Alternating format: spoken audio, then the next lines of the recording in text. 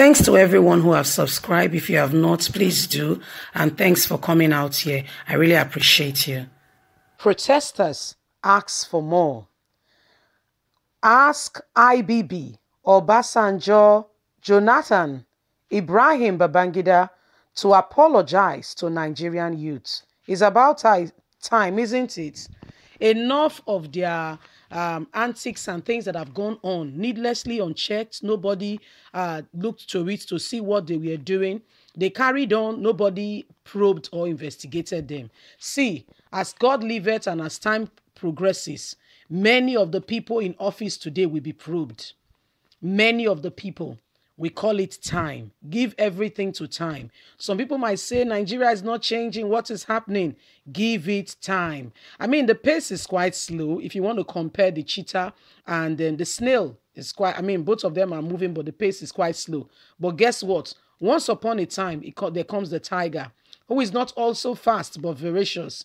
And anything that comes on his way, he ravages it. This is what is happening. The Nigerian youths are unstoppable, and everyone and anyone who has continued to cause moral decadence in the society, you had opportunity to change things, but you carried on as if the youths are not to be looked at. You filled your pockets and left, and, and today you are asked to apologize. It will do them great good if they can listen to the voice of reasoning and apologize to the youth as soon as possible so that they don't dig themselves deeper in the hole that they have already set for themselves. Let's carry on and get all the details. Protesters ask group IBB, Obasanjo, Jonathan, Buhari to apologize to Nigerian youths. A civil society agency, CSO, Rescue Nigeria Economic System Virtue, has asked former President Olusegun Obasanjo former Navy President Ibrahim Babangida, former President Goodluck Jonathan, and former President and present President Muhammadu Buhari to apologize to Nigerian youths over their failure to reform the now disbanded Special Anti Anti Robbery Squad, despite public outcry over their high-handedness. In a, de in a declaration made available to Impact on Friday, it governed the sec security system a full assistance of accountability.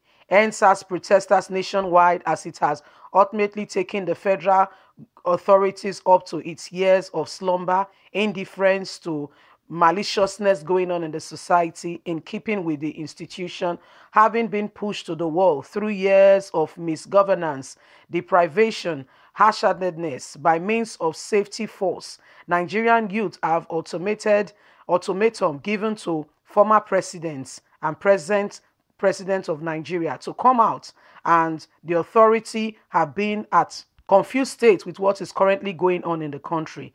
The group also warned that the government should apologize and apologize now, using force to quench the protesters, saying development of riverine areas, Lagos FCT has shown that such move will be eventually resisted.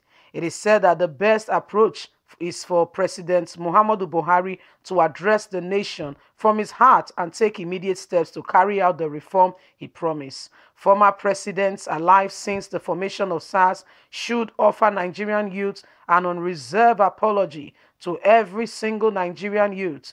Those include former President Olusegun Obasanjo, Goodluck Jonathan, Muhammadu Buhari, and former heads of state Ibrahim Babangida, Abdulsalami Abubakar, it has if they had investigated the atrocities of the deformed SARS and carried out holistic reform long time ago, there won't be the need for the protests of Nigerian youths today across the country and across the world. The group also blast Ambroseli, State Governor the group also blasts Anambra State Governor Obiano for appointing James Okafor, a former SARS operative accused of supervising the killing of Nigerian youth as a special assistant on security.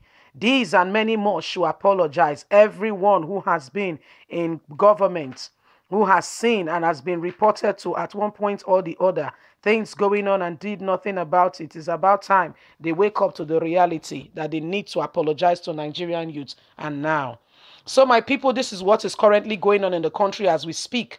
A lot is going on, and the government, if they don't take make haste, why sunshine may have their handful. Mm, yes, it's a statement of fact that uh, with what is going on in the country, Nigerians needs to tell themselves the truth you know, especially those in government. You see, today we presented to you what a single senator takes takes home what you know things that are going on in this country and how they've neglected the responsibility of Nigerians how they have allowed Nigerians to suffer.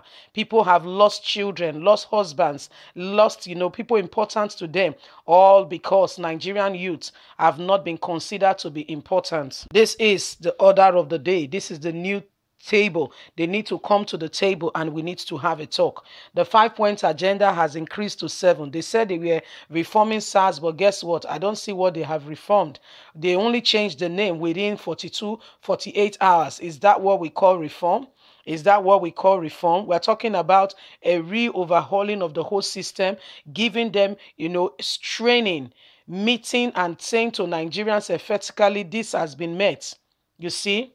This is what it should be. Times have changed and you cannot continue. They need to come and apologize. It's about time. They were there needlessly. They allowed Nigerian youth to be brutalized. And they keep telling us as we are growing up, these are the leaders of tomorrow. Yet they did nothing about it. So they need to come and apologize and apologize now. So my, my, my people, this is what is happening. This is where we are. Nigerian youths have risen up and then the government have to be careful. We hear some people who think that um, they can just, you know, they can just carry on and just do anyhow. No, it cannot happen. It cannot happen you know, Tinubu and the rest of them have to stand up and stand with Nigerian youth if they want to see any light in political future because we are looking at every one of them. Every one of them that are marking and are looking and eyeing 2023. the door, you know, we, we Nigerian youth, we are tired of either APC or PDP. We want irrespective of your party, yes, irrespective of your party, we want people who truly loves us. We don't want people who are coming to us based on party. We want people who are coming to us based on the fact that they love us. They are sincere. They they they, they want Nigerian to move forward. That is the person we're going to vote for. So guys, this is what is happening. This is the new era and this is what it is. We'd like to hear from you. Yes, we'd like to hear from you. Leave us a comment, like us, share, subscribe. Click on the notification button. God bless you. Have a fantastic day. For now, bye.